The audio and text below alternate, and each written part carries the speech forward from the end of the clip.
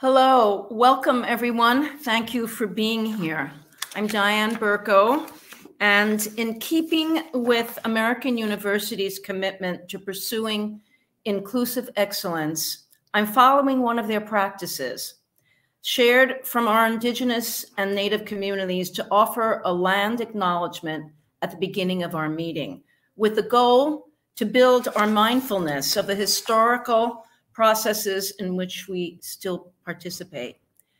American University is founded on the unceded land of the Nacotchtank, Anacostan, and Piscataway peoples. I ask you to join me in acknowledging these communities, their elders, both past and present, as well as future generations. American University also acknowledges that it was founded upon exclusions and erasures of many indigenous peoples, including those on whose land this institution is located. With this acknowledgement, we commit to working to dismantle the ongoing legacies of settler colonialism. I'd also like to begin this session by acknowledging the original moderator, Maggie Stogner, the director of the environmental film program here at American University.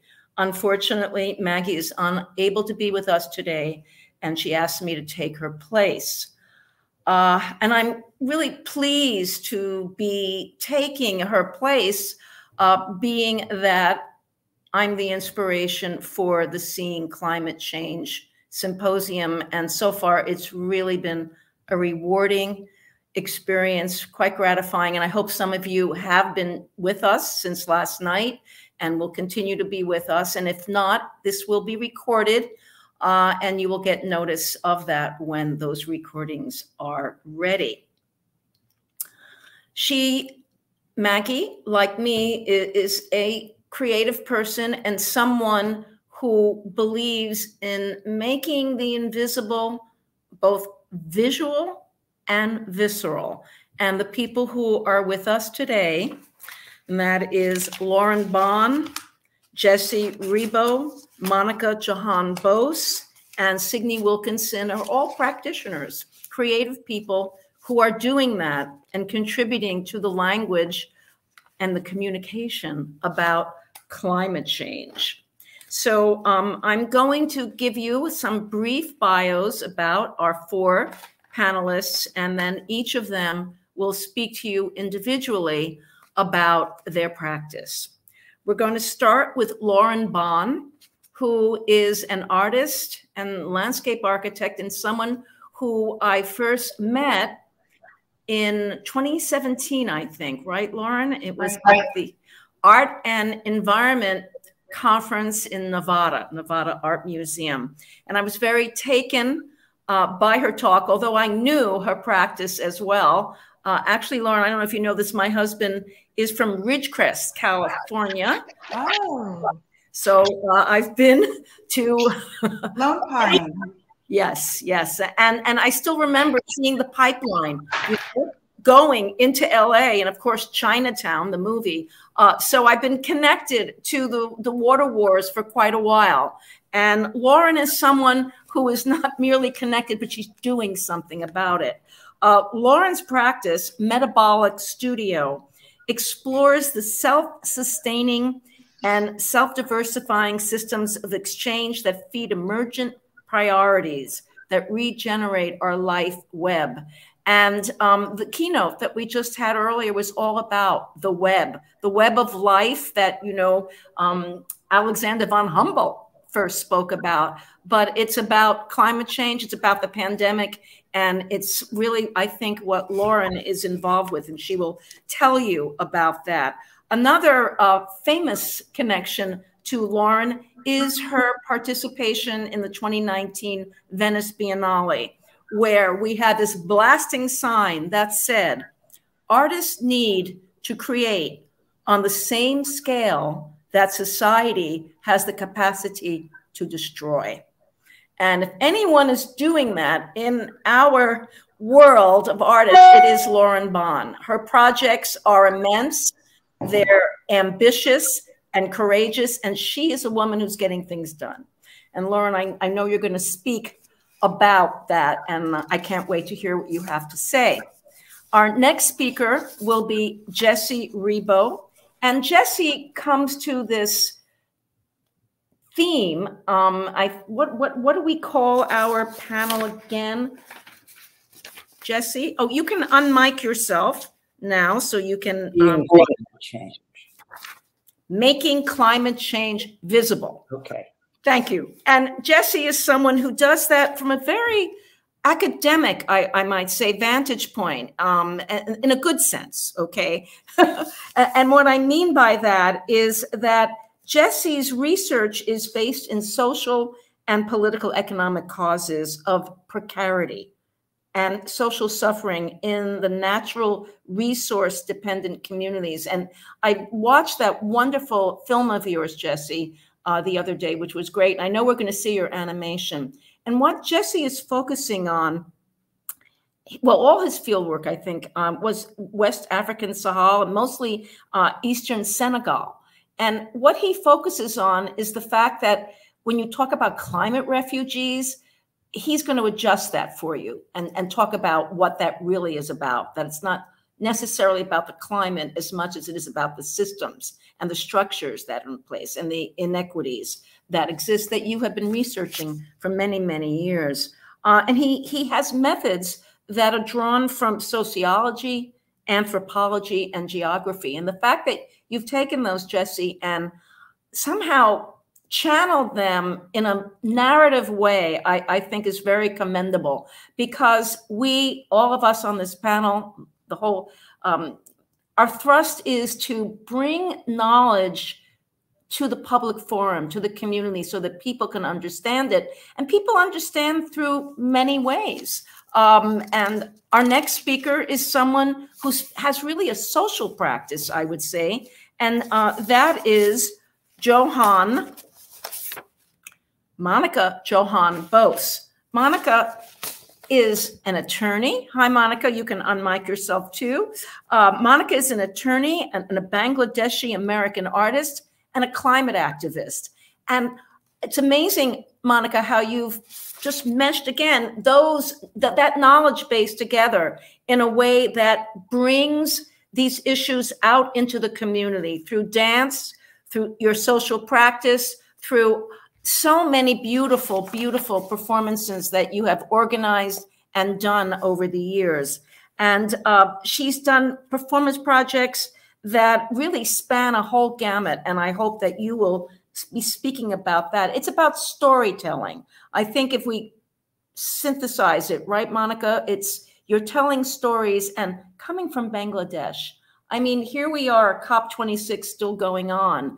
And what communities in the world are impacted? Certainly, many of them below the equator, certainly the Pacific Islands communities, and certainly Bangladesh in terms of um, you know, water, to say the least. So Monica is going to be speaking to us about that. And our last speaker is Signe Wilkinson.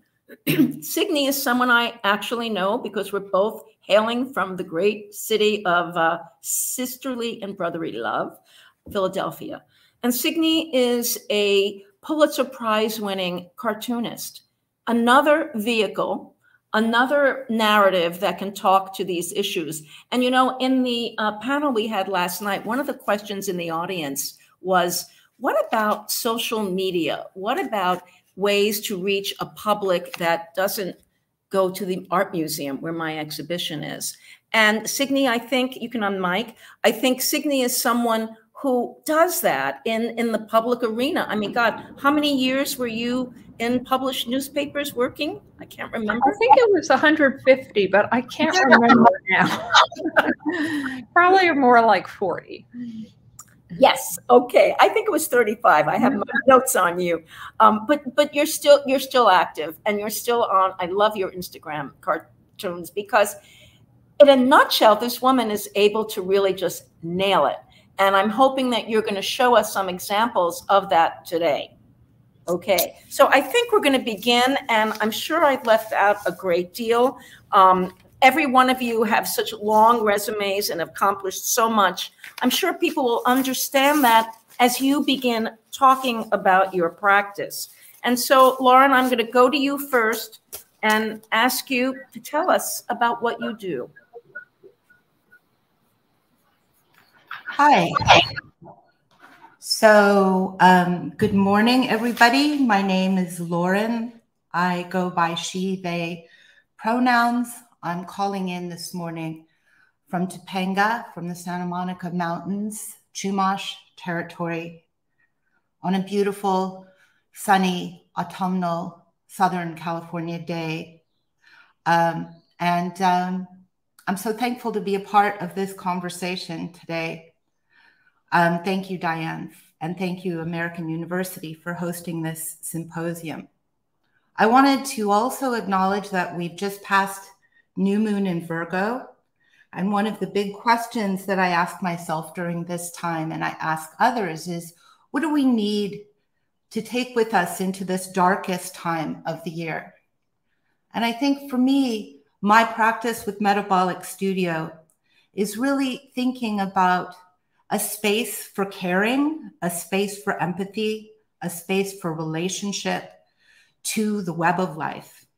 And what that means for us is really a practice of cultivating invisible gardens. It's all that unseen and mysterious material that supports the complex interweave we call the web of life, the mycelial layer, its relationship to the plant kingdom, its relationship to photosynthesis and light and water, um, and, and how this is in a constant state of fluctuation but also thinking about the brevity of human experience and how we are locked into a span of thinking that has often been described as the seven generation rule. We're able to imagine two generations before us and two generations after us, but we find the edges of that very, very complex. So the real question as we move into darkness is how do we make space in this conversation about sixth mass extinction, climate change, and how culture can, what culture can be in this time of, of darkness? I think for us right now, especially just following um, the Day of the Dead commemoration, it's also to think about making space for active grieving as part of the performative aspect of um, what we need to be doing. So, in particular, um, I'm thinking about this we us just passing the 20th anniversary of 9 11. Uh, I know that Washington, D.C. itself was a target um, and experienced massive trauma 20 years ago around this time, around autumn. And I think that we really need to kind of unpack the suffocation context that this conversation is happening in.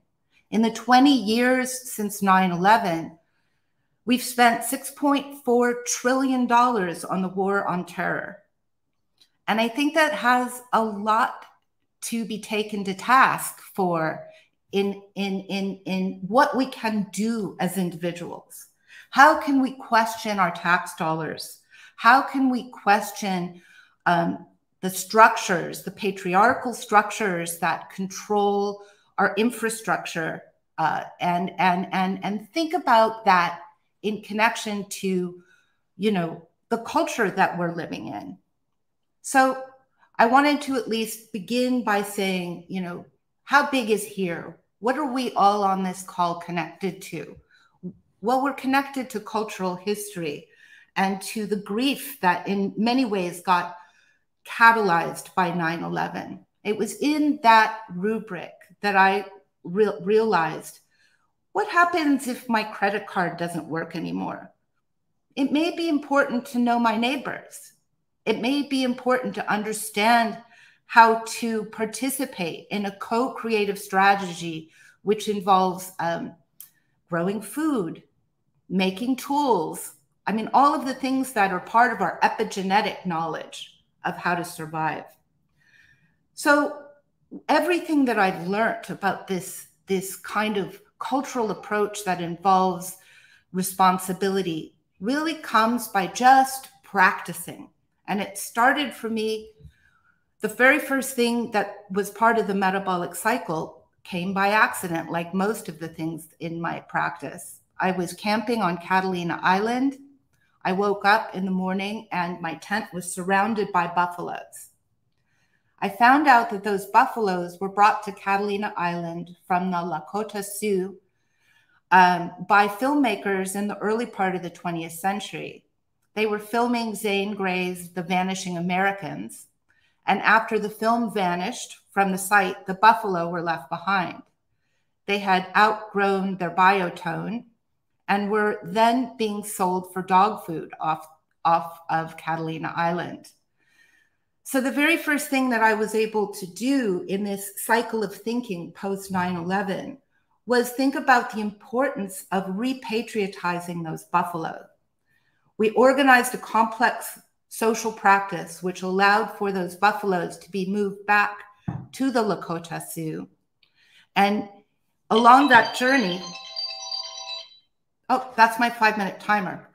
Along that journey, um, I was given some seed which allowed me to um, plant not a cornfield, a 32 acre cornfield in downtown Los Angeles, which involved nine, 90 miles of irrigation stripping. Um, and that stripping was um, needed to be fed by a water supply. And if we have time at the end of this, I will segue into how that water supply has led into a 15 year practice, which is now involving a infrastructure adaptation of the LA River's low flow channel, a redirection of a small part of the low flow channel um, in terracotta pipes under the LA River to be lifted by a self propelled mechanism, a water wheel, moved by the power of water into a native garden to be cleansed and then distributed to a network of public places. Um, and uh, that's where we are currently. We've uh, laid the first 300 feet of those pipes under the LA River. We needed to get 78 federal, state, and local permits in order to do something quite logical which is simply use a resource that we've already used that's been cleansed and moving out to sea in order to create a new spreading ground for the artificial LA aqueduct watershed as a way of paying homage to the snow cap that falls on the Eastern Sierra 240 miles away um, so that we can enter a new century of water management with a deeper acknowledgement of the source of our water in the snow caps far away from our city. I'll end with that, Diane, and um, look forward to discussing more in the conversation. That's wonderful. And, and uh, that was the project I hope you would speak about. I've been watching it on Instagram for the last, I don't know how long.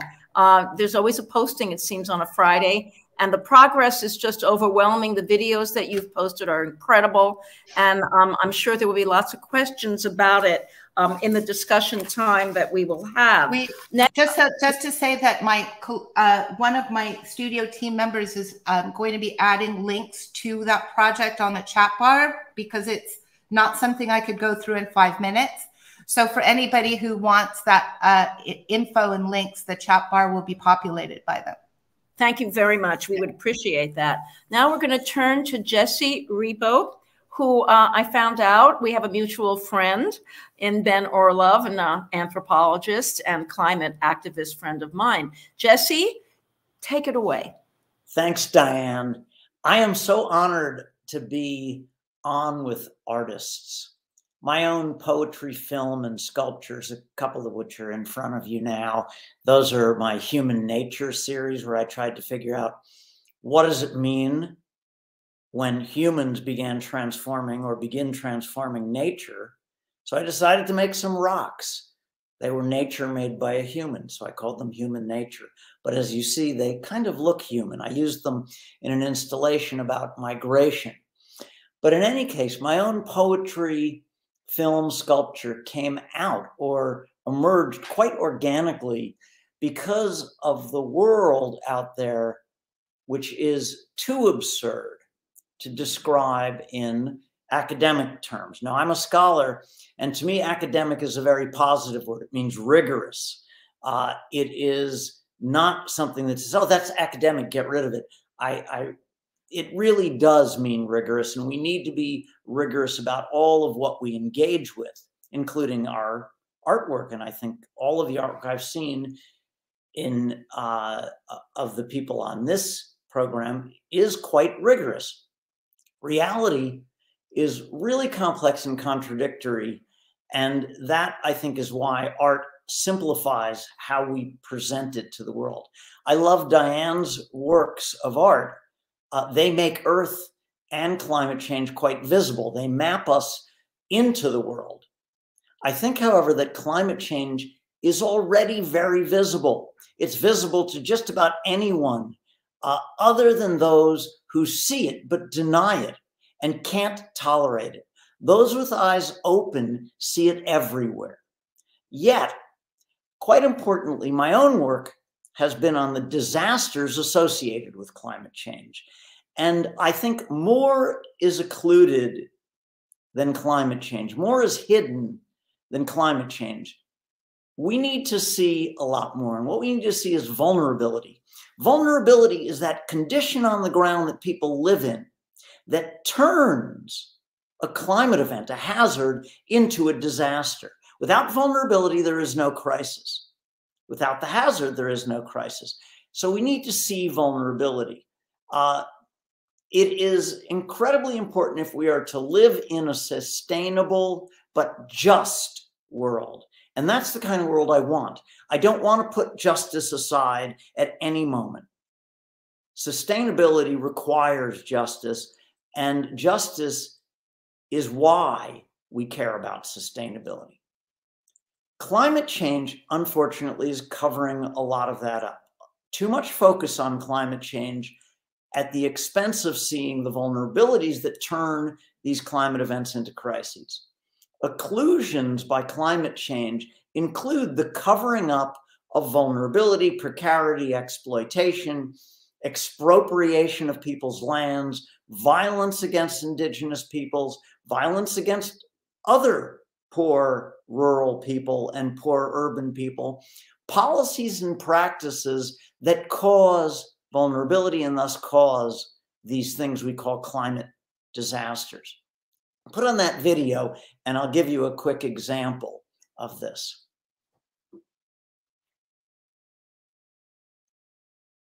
On April the 19th, 2015, a boat sank on its way from Libya to Italy. 700 of the 729 people on board died that day. The media refers to these people as climate refugees or climate migrants, implying that they made this hazardous journey to get away from the impact of climate change. However, a group of researchers went to the Tambacounda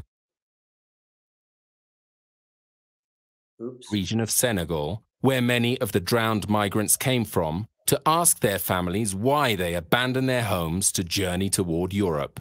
And they actually tell a very different story. They don't talk about the weather, they speak of being excluded from markets, having low prices for their crops, lack of social services, and inadequate political representation to articulate their aspirations and defend their needs. They also talk about a lack of hope. They see no future in Tambacounda.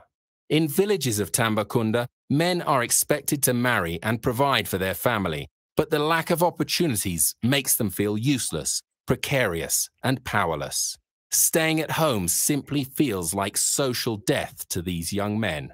So they decide to make the dangerous trip to Europe, where they see a way to find respect, to become adults, and to make their people proud by contributing to family and community at home. The goal of going to Europe is not to escape climate change or war, another common narrative about migrants. These young men are seeking a life of dignity. Climate change is real and is causing additional stress on already vulnerable people. But the claim that climate change is the driving force behind migration from the Sahel focuses our efforts on the wrong initiatives. Indeed, Tambacounda's farmers are precariously perched at the edge of disaster. due to policies and practices that allow economic exploitation. A normal and expected drought or any other fluctuation in political stability or the economy can then push these farmers over the edge. So, the question we must be asking is why are these people on the edge in the first place? Why do Sahelian farmers always live on the brink of hunger? Why do they lack public services and social safety nets? Why don't their local and national governments represent them or respond to their needs? Why do international development agencies channel support for rural development to non governmental organizations rather than to the elected local governments that know and represent them? By only focusing on climate change as the driving force of migration, we are erasing the histories and existing knowledge of crises and their many local, national, international, social, and politico economic causes.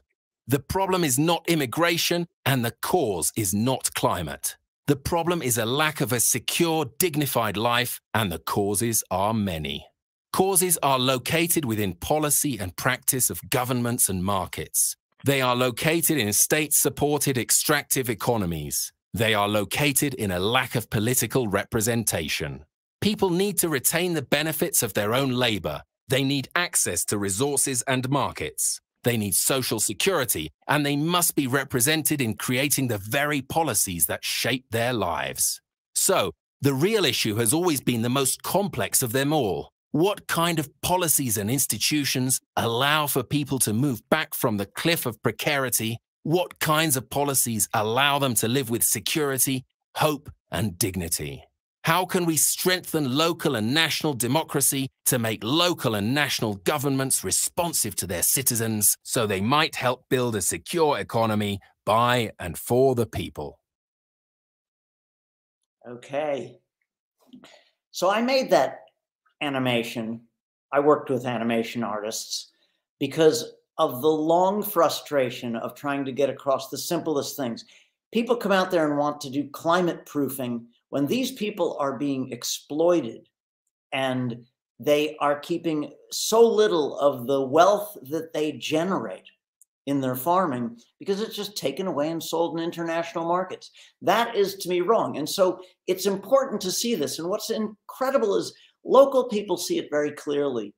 I wrote a children's book, and this is one image from it. It says on this guy's, the, the colonial forest officer's book, it says rule book. And what I wrote, if I can remember it right, is look, here in the rule book, which you must obey, you have rights to the things that we don't take away, but we can't take the wood without taking the trees. So you'll have to make do with the stumps and some seeds. You can grow village woodlots, eucalyptus and pine will help you to manage them through incentives and fines. If you listen, look, learn, and do as we say, even democratization will be on its way. We must protect forests from people like you so that people with business will have business to do. The world is absurd, and every peasant farmer in Senegal, when a forestry project comes along and says, Oh, we're going to manage the forests for you and help you knows that they're being exploited in the process of environmental management. And these are the kind of injustices, if we want environmentalism to become something that local people can take on, these are the kind of things we have to understand as well and make very visible. And yesterday in the session that uh, was held at the museum, there was a young man from Uganda who spoke and basically said, How can people who cannot survive day to day deal with the questions of climate change? Anyway, thank you. And I'm really delighted to be on this panel with all of you.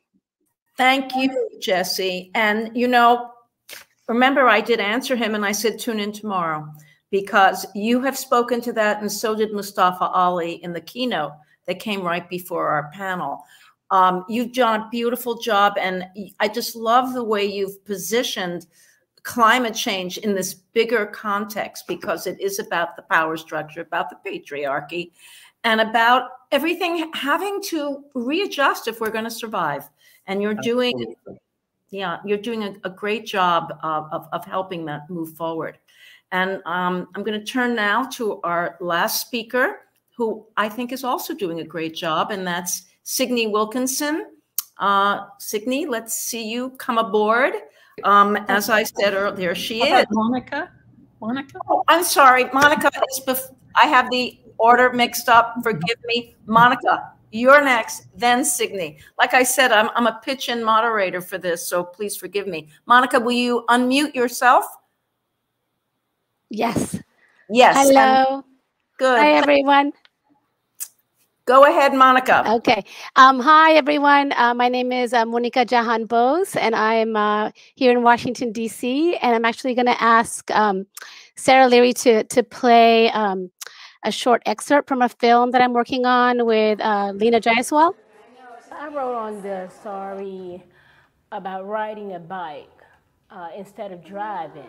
I really like the way that we were able to bring the sari to life with artwork and also with our promise to uh, help with climate change. It's been a long, long time coming, but I know the change gonna come. The types of things that we learned about climate change was to just plant more trees, cut off lights when you're not using them, walk instead of driving your car. Oh my gracious, it was such a unity of spirit. We were one as a team working together, putting uh, the stories together for our sisters in Bangladesh. I could feel them. I could feel even some of the plight.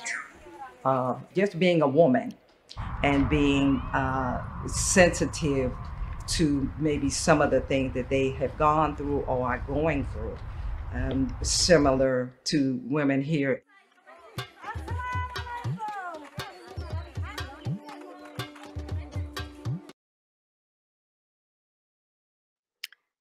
Hi, um, Sarah, can you put the slide up now? So, um, yeah, so I wanted to um, uh, thank everyone for inviting me um, to be here. And I wanted to uh, uh, touch uh, touch on a couple of things that um, that prior speakers mentioned. Um, uh, Lauren Bon um, was talking about co-creation, and that is, I think, one of the things that um, I'm doing. Um, I'm actually uh, working across disciplines. Um, I'm an artist, and I also do advocacy. And the and the Sari project, storytelling with Saris, is a project I started nine years ago with a dozen women from my ancestral village in Bangladesh. And this is a picture of the first set of saris that we together. I'm wearing one of the saris right now. Next slide, please. Um, so the island um, that my um, foremothers are from is um, Island in um, in the Bay of Bengal in the Indian Ocean in southern Bangladesh. It takes about 30 hours to get there by boat from Dhaka. Next. And I always talk about my foremother, my uh, grandmother, Jahora Begum. She was married at age seven. She's a um, climate and she was a climate and cyclone survivor. She also uh, made sure that all her daughters finished high school. My mother was the first girl from the village to finish high school. Um, I started being, I was mainly working on paintings, a whole series of paintings about climate change um, that I started in 2005.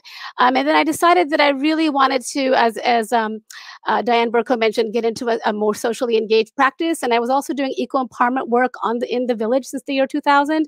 But I wanted to actually work with the women um, to try to uh, uh, in include them directly in my practice next.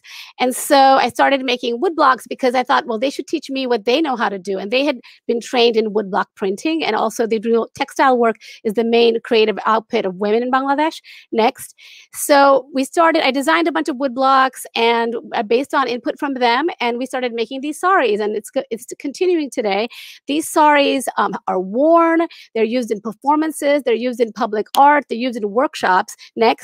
And then, as you saw from the video, I started making saris with Americans and Europeans and trying to connect um, uh, people from here to there through this kind of uh, medium of this massive fabric.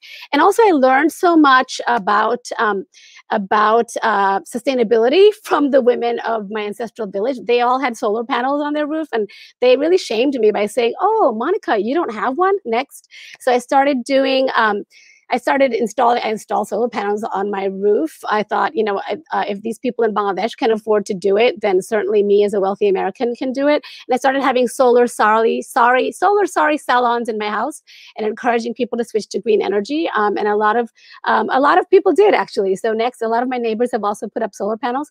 And then the um, the voices, the stories, the saris um, from these women of Katakali have been used in multiple ex um, exhibitions um, uh, and in, in I started making films. My first um, three-channel film was with a filmmaker called Nandita Ahmed um, in my in the exhibition called Layer by Layer next. And um, I also have the, the women are also keeping journals for the last nine years. Um, it's kind of these are women that did not know how to learn to did not know how to read, but have now learned to read and have been writing their stories and their their experience of climate change. They're keeping climate and other journals, which I'm um, which I'm trying to preserve because otherwise they might get washed away. And they're used in installations as well. Next.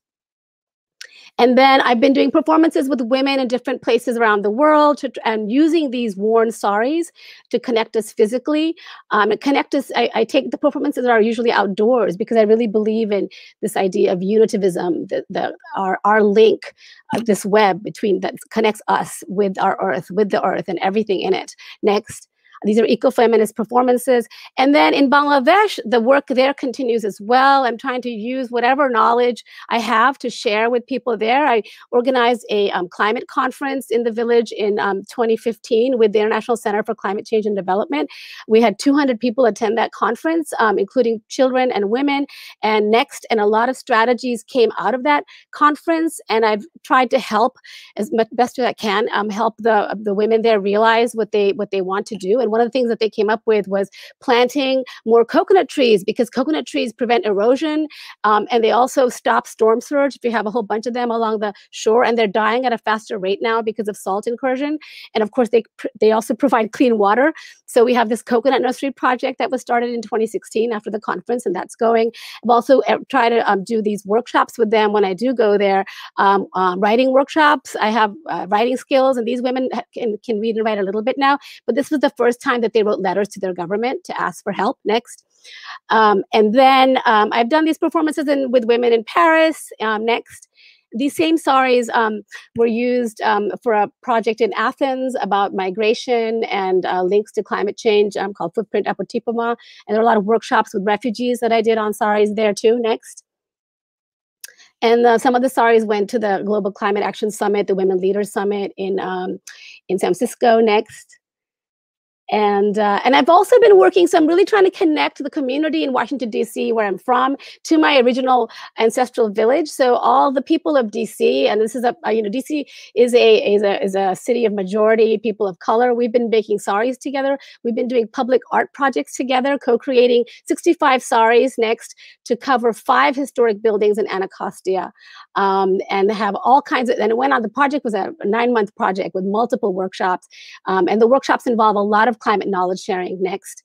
And I found that people were writing poetry. So I've really gotten into poetry now. So I'm uh, really enjoyed um, hearing the last speaker's poems. Um, so we've been doing climate justice poetry. We've been doing open mics. We've also um, gone into sculpture.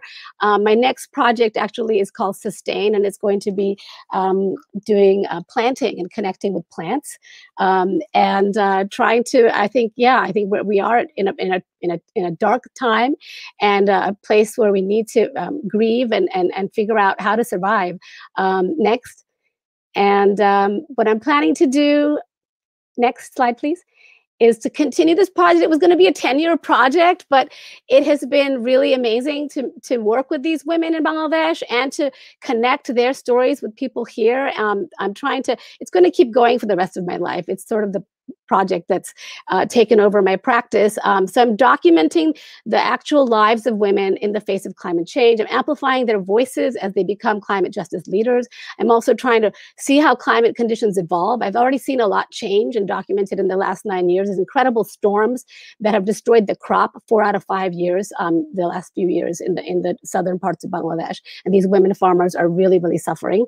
I'm also trying to collect the intangible heritage in Katakali and DC in case we lose it, because there's not much, um, uh, you know, um, value given um, by our um, capitalist society um, to this kind of intangible heritage of songs and food knowledge and, and poetry. And I'm also trying to bring, build Black-Brown solidarity at the intersection of climate, gender, and racial justice. And I do think that community engagement and building community is the key to solving climate change and environmental injustice.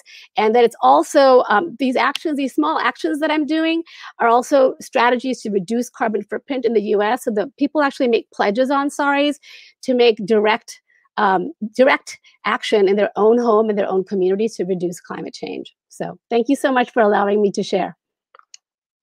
Oh, last night we talked about to be a feminist is an environmentalist, and you are such a shining example. Monica, of that practice. I'm overwhelmed by all you have done.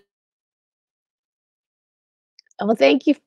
Boggling. You are the activist. You're fantastic. And you're another example of how people bring all of their knowledge together and do the do the thing we have to do. And you're hopeful. One of the things that um, Mustafa said today um, uh, was, you know, no, it wasn't him. I think it was Jennifer Morgan, the head of Greenpeace International, who's an AU graduate. She said to be to be hopeful is to be courageous, and uh, you've I just love the way you've joined communities because you're right. This is one of the ways that we can really bring people at the ground level into the issue. And after all, that's what it takes. We have the power if we use it, and I think you're using it brilliantly. Thank you so much. And now I will turn to, to Signe Wilkinson, um, our last speaker, who also has powerful messages. And I'm looking forward, Signe, to you showing us some of your stuff. Thank you, Diane and AU for hosting this. Uh, but I have to warn people, we're going from Diane Burko's beautifully painted high art to the low down printed on newspaper cartoon art. And we're also going from Lauren's immense scale and ambition to a tiny little square but um, those squares, those cartoon squares, uh, can pack a feeling, uh, an opinion, and a punch. Uh, also, readers can uh, punch back, but that's another story. At any rate, um, I have. Um, I'm going to show a handful of my cartoons uh, out of the hundreds I've done on climate and environmental, I prefer the the word just environment, the broad term, uh, a cartoon. So um, it, I'll start with a really simple one. Uh, Sarah, could you show the first cartoon? Whoops, nope, the back one, the, the one you just showed. Back up to our new climate. This is uh, like your basic editorial cart, political cartoon, contrasting um, what our world has become to um, uh, the when when you know a, a, government makes a big deal about planting a few trees in a park somewhere and then allowing the pipelines to go uh, around or through it. It's not to denigrate trees. I I've planted trees too, but as a public you know, it it has to be in balance with um, uh, what else is going on. Um, the other good thing about cartoons is that it doesn't have to be these big global issues. You can stick to what's going on in your community. Next this is from uh, the early 1980s, my first job at the San Jose Mercury News, and it was about dumping metal in the San Francisco Bay. So, a few companies dump waste metal into the bay. So, big deal. So, the fish are metallic now. Next. Um, as Jesse has uh, talked about, uh, I'm also interested in the environmental, uh, the social justice parts of environmental uh, environmentalism. This is a two-part cartoon uh, about the water problems in Michigan. It's a separate but next. And Flint, Michigan. Was when their lead problems were so bad and the uh, pollution in their water. And uh, I had seen ahead of time Jesse's work and that beautiful, that very clever uh, animation. And I wanted to show an old cartoon. It's about a 12 year old cartoon, uh, also about uh, climate justice and Africa. Next. This Earth Day, if everyone unplugs just one gadget, uh, again, it's the way we talk about environmentalism um, versus the way that people in vastly different circumstances experience it. Next. Um, this is the first part of a cartoon about another part, uh, another of our environmental difficulties that we no longer talk a whole lot about. Um, in the beginning, next, and in the present which is, of course, population growth. Um, the more people we have, the more land we use, the more water we use, the more gas we use. And um, so I, it's, I don't do very many on them, but it's it's something I I care about, and I'm sorry people don't talk about it more. Um, next. Now, back to our uh, one of the things that has been going on lately with all of our uh, recent hurricanes and storms. This is dangerous beachfront flooding.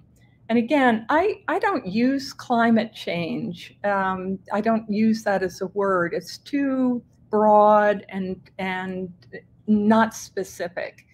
Um, development, de building along our beaches, our coastlines, our waterways. Uh, that's what I'm talking. Uh, that's what. If there are, if there isn't a house on the beach, it won't get flooded, even if there is a terrible storm. So I'm, I use that, and I, I also like the um, using the pipeline. Um, it's not just oil; it's a pipeline of all sorts of uh, uh destructive behaviors. And but um, this is uh, not everybody has a house on a beach, but I like to show in cartoons that we all pay for those houses on the beach. Next. And here we are, the taxpayers holding it up. Didn't we meet last time we bailed out, uh, we rebuilt this beach? Um, I talked to an insurance adjuster recently who has who has written um, uh, has has given insurance claims five different times on the same home in Houston. How is how is that possible? And those are all underwritten by, or most many of them are underwritten by FEMA. Next. Um, and I also like to make sure that, or I'm not blaming other people, that we're all in it together, uh, or all we all have some responsibility. This was after the um, the the the, the um, big oil spill uh, in in the Gulf Coast. Um, it's four parts: drill, baby, drill. Next. Spill, baby, spill. Next kill baby kill there were people the workers were killed in that accident and lastly fill baby fill uh, until we change our ways uh, we're the ones using or many of us are the ones using uh, the oil those those rigs bring out of the ground but i occasionally try to be a little more upbeat so here's one this is two parts. Last century's energy panel, oil, coal, and gas. Next. This century's panel. Um, go for uh, putting those solar panels on our roofs, especially in the cities where uh, we have lots of flat roofs and could do lots of panels. And lastly, because this is uh, right before Thanksgiving, this is a cartoon I did at Thanksgiving a couple years ago. Just remember to give thanks to our Mother Earth. And thank you all for having me. And, and I'm so glad you proved me right, Signe. You, what? you nailed it. I mean, it's another way of communicating these issues. And I think you're right. It is about the environment uh, more than just climate change, but we're all in this together. It's this weave that everyone talks about. And um, I think I just lost everything. Uh,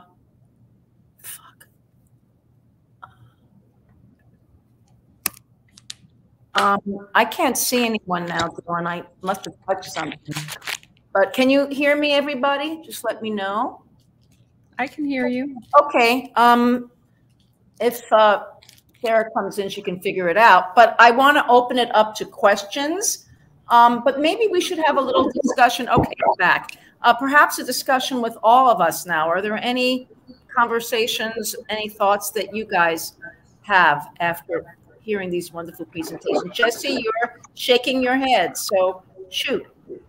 I do. I um, I want to say that I was really tickled by Signe's uh, work, and and the humor and irony is so important in getting across these points and the juxtapositions. But there are two points that came up that I think need to be challenged deeply. One is the blaming climate uh, problems, in fact, on population growth. Yeah, It simply yeah. doesn't pan out. Right. It doesn't pan out. It's been an old racist, Yeah. racist trope for a long time. Uh, we correlate, uh, you know, we don't, the, the density of population in the Amazon is low, and that's where the most deforestation is. No one looks in the middle of New York City for deforestation. There are a lot more people. Most of the damages are due to a few people with high levels of wealth. That's one thing. Secondly, I don't like the blame the victim or blame the user thing. Neither in the Fill Baby Fill, I don't blame people for using their cars, nor in the go out and plant trees. I don't think individuals are going to fix this. I think that individuals have a role. Tree planting is lovely, but it is too tiny, just the way Signe's illustration shows. And it is going to be government. And I mean, it has to be good government. We need to work on that.